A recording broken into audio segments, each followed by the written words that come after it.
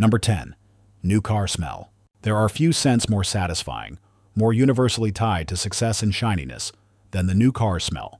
You slide into the driver's seat, inhale deeply, and your brain is flooded with the aroma of achievement, freedom, and a cocktail of industrial poisons. Oh, yeah. That glorious smell isn't the natural musk of premium leather and fresh opportunities. It's the scent of your car's interior slowly poisoning you. That smell is a complex bouquet of volatile organic compounds, or VOCs for short. Think of it as the car's newborn phase, where all the plastics, adhesives, vinyl, and flame retardants are still gassy. They're off-gassing. They're releasing a slew of chemicals like formaldehyde, benzene, and toluene into the sealed, unventilated box you're sitting in. Your dashboard, your seat cushions, your carpets, they're all basically farting out the remnants of their manufacturing process. Your brain interprets this chemical soup as new and clean, because we've been culturally conditioned to associate it with an expensive, untouched product. We smell it and think, nobody else's greasy french fry has been lost under this seat yet. But what you're actually smelling is the slow evaporation of the glues holding your console together, and the plasticizers that make your dashboard feel soft instead of brittle. It's the olfactory equivalent of licking a brand new shower curtain. So, next time you get a new car and someone says, Oh, breathe it in, just smile, nod, and maybe crack a window. You know, to let the fresh air dilute the sweet, sweet aroma of progress and potential long-term health effects. Number 9. The smell of cut grass. Picture it. A perfect Saturday morning. The sun is out, a gentle breeze is blowing, and your neighbor is firing up their lawnmower. Soon, that iconic smell of freshly cut grass fills the air. It's the scent of summer, of lazy afternoons, of childhood.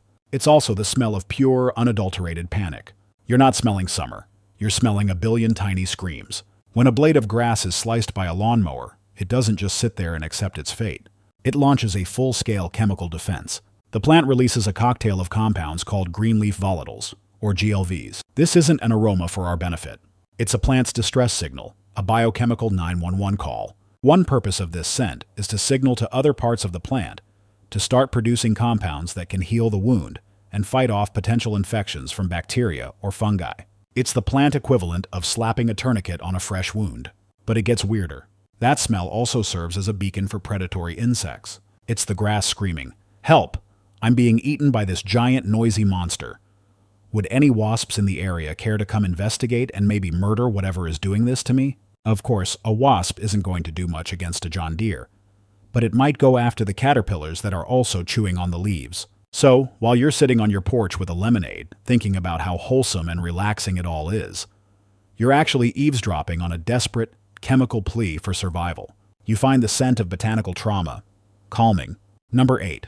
Old book smell. Ah, the smell of an old book. Walking into a used bookstore or a library's forgotten corner, and breathing in that dusty, slightly sweet, papery scent is a unique kind of magic. It smells like history, wisdom, and cozy afternoons. But what you're actually smelling is the slow, elegant process of decay. You are inhaling the ghost of a tree. Paper, especially older paper made before the 1980s, is full of organic compounds, primarily cellulose and lignin. Lignin is the stuff that gives wood its rigidity. It's the structural glue holding the cellulose fibers together. Over time, Acids in the paper cause all these compounds to break down in a process called acid hydrolysis. It's a very, very slow chemical unraveling. As the lignin oxidizes and decomposes, it releases a whole symphony of volatile compounds. One of the most prominent compounds is vanillin, the very same chemical that gives vanilla its signature scent. That's why old books often have a faint, sweet, vanilla-like aroma. You're also smelling benzaldehyde, which gives off a hint of almond, and ethylbenzene, which has a vaguely sweet chemical scent. You're essentially sniffing a potpourri of decomposition. Each old book has a unique aromatic profile based on the type of paper, the ink used, and the environment it was stored in. So, when you press your nose into an old tome and take a deep whiff, you're not just smelling paper. You're smelling the slow, beautiful, and slightly morbid death of a forest product. It's the most romantic funeral you'll ever attend. Number 7. The smell of rain. There's almost nothing better than the smell of the air right after a fresh rain especially after a long dry spell. It's earthy, clean, and fresh. We call it petrichor, a fancy name for what is, essentially, the smell of liberated bacteria poop. Yes, that beloved poetic scent is largely produced by a group of soil-dwelling bacteria called actinomycetes. As they go about their tiny bacterial lives, munching on decaying organic matter in the soil, they produce a metabolic byproduct called geosmin. For centuries, this was just a thing that happened, unnoticed, in the dirt. But then it rains. When raindrops hit a dry, porous surface like soil or asphalt, they trap tiny air bubbles. These bubbles then shoot upwards, bursting from the water in a fizzy aerosol, carrying with them whatever tiny particles and chemicals were on the ground. This aerosol jet propels the geosmin into the air, allowing it to travel on the breeze and right into your waiting nostrils. Your nose is incredibly sensitive to geosmin. Humans can detect it at concentrations as low as a few parts per trillion. For perspective, that's like being able to smell a single spoonful of dirt in a hundred Olympic-sized swimming pools. We are better at smelling this specific bacterial waste product than sharks are at smelling blood. So next time you step outside after a storm, close your eyes and breathe in that fresh, clean air. Just remember, you're joyfully inhaling the aerosolized excrement of soil microbes. Nature is beautiful, isn't it? Number 6. Your dog's Frito feet. If you're a dog owner, you know the smell. You'll be cuddling with your furry best friend. They'll put a paw near your face and you'll get a distinct whiff of corn chips, Fritos specifically. It's a phenomenon affectionately known as Frito feet. And while it might seem like a weird quirk, you're actually smelling a tiny, thriving ecosystem of microbes having a party on your dog's paws. Dog paws are a fantastic breeding ground for microorganisms. They're warm, they're sweaty. Dogs sweat through their paw pads, and they're constantly picking up new friends from the ground. This damp, cozy environment is the perfect home for several types of bacteria and yeast. The two main culprits behind the corn chip bouquet are the bacteria Pseudomonas and Proteus. As these little guys go about their day, breaking down oils and sweat on your dog's paws, they release a variety of smelly chemical byproducts. And, as luck would have it, their particular brand of waste products just happens to smell remarkably like processed corn snacks. It's usually harmless and just a normal part of your dog's personal scent profile. Think of it as their signature cologne. It's a testament to the fact that your dog is a walking, barking petri dish of fascinating microbial life. So, when you smell Frito feet, you're not imagining things.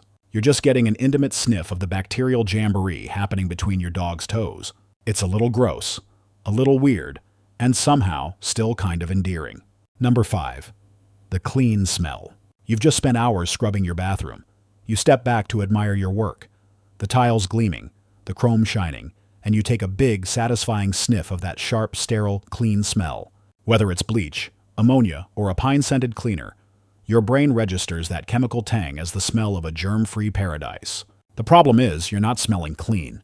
You're smelling the absence of everything else, masked by a chemical scream. At Kleinseed, clean itself doesn't actually have a smell. Pure water and pure air are odorless. What you're smelling are the powerful chemicals you've just used to commit mass microbial genocide. That sharp sting of chlorine from bleach is the smell of a chemical that obliterates germs by oxidizing them, violently ripping their molecules apart. That pine scent? It's often just a synthetic fragrance, a chemical called pinene, designed to be so overpowering that it bullies every other scent molecule in the room into submission. It doesn't eliminate odors, it just shouts over them. Our brains have been trained by decades of marketing to associate these harsh industrial scents with hygiene and safety. We smell bleach and think, ah, no more germs. We smell artificial pine and think, ah, a forest of cleanliness.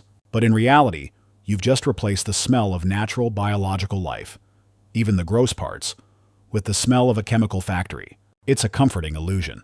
You haven't made the room smell clean. You've just made it smell like a successful chemical attack. Number 4. The swimming pool smell. Nothing says summer vacation like the smell of a public swimming pool. That sharp chemical bite that stings your nostrils is a scent most of us instantly recognize as chlorine. We smell it and think, this pool must be super clean and disinfected. Well, prepare to have your childhood summers ruined. The stronger the chlorine smell, the nastier the pool is. Because what you're smelling isn't chlorine at all. It's the smell of chlorine reacting with pee. Chlorine itself, when it's just doing its job in clean water, has a very faint smell. The powerful eye-watering scent we associate with pools is actually a group of chemical compounds called chloramines. Chloramines are formed when chlorine disinfectant reacts with nitrogen-containing compounds. And what's a readily available source of nitrogen-containing compounds in a public pool? You guessed it, human waste. We're talking urine, sweat, body oils, and skin cells. When you dive in and that wave of chlorine hits you, you are inhaling the chemical byproduct of chlorine fighting a valiant, losing battle against the collective filth of everyone in the pool. A well-maintained pool with the proper chlorine-to-water ratio and not much organic material will have almost no smell. That overpowering chemical stench is a red flag. It's the pool's way of screaming. Too many people have peed in me and the chlorine can't keep up. Sambowan Hospital. So next time you walk into an indoor pool and the air is thick with that familiar smell, maybe just go for a walk instead. You're not smelling the disinfectant, you're smelling the evidence. Number 3. The smell of mothballs. For a certain generation, the smell of mothballs is the smell of grandma's house. It's the scent of carefully stored woolen sweaters and dusty attics.